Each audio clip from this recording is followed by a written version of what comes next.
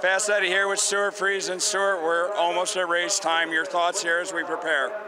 Oh man, I'm probably more nervous than I've ever been for this race. Um, you know, just just thankful for my crew, for the guys that have been working hard all week, and uh, Jeff Daly for giving us uh, a fast car. Just you know, we'll see what happens.